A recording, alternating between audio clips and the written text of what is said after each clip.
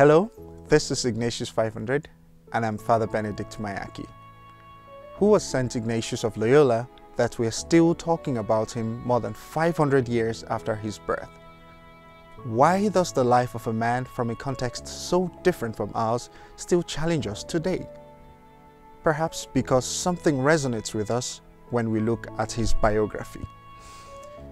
In his autobiography, Ignatius says of himself very realistically, up to the age of 26, he was a man given to the vanities of the world, and what he enjoyed most was warlike sport, with a great and foolish desire to win fame.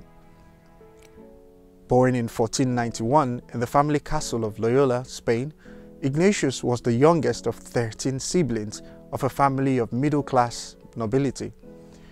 It was a Christian family, but not always exemplary. At the family castle, he spent his childhood until he was 11 years old.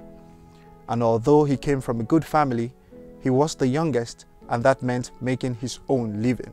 His mother died when he was still a baby and he was later offered the opportunity of a bright future as a courtier to the great lord of the kingdom of Castile in Arevalo.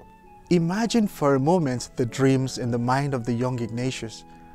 On the one hand, the military exploits of his brothers from Naples to Flanders or to America. On the other, the impossible romances of the chivalric books that he devoured. And last but not least, the impeccable courtly forms that he was acquiring with both the sword and the pen. How not to want to be the protagonist of such feats? How not to pursue love and military conquest at all costs? Our desires clearly condition our actions, and in the case of Ignatius, we know that this desire to earn a name for himself led him to go to extremes, things that were never completely clarified and for which some wanted to have him imprisoned. But let's now turn to the present and think about our dreams. Without a doubt, we express ourselves in other terms. We speak of professional success, of being attractive, or of having a comfortable life. But deep down, we are pursuing the same goal as Ignatius. A life in which I am the protagonist of all things and the center of all the applause. In other words, a life that only seeks to impose itself on others. How much energy we waste every day to fatten our ego. No one denies that Ignatius' youthful motivations were far from the gospel message. The temptation, however, would be to want to erase from history everything he did up to the moment of conversion. Ignatius learned painfully that God was counting on his dreamlike nature that was determined to build the kingdom of God.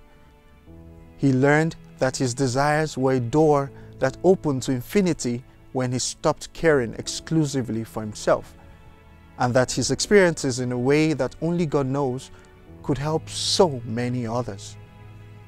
Like all of us, Ignatius had to shift his vital center from his navel to the service of God in his brothers and sisters. He had to educate his desires. But let's not get ahead of ourselves. We leave our protagonist in the service of the Duke of Najera in May 1521 in the city of Pamplona, Spain.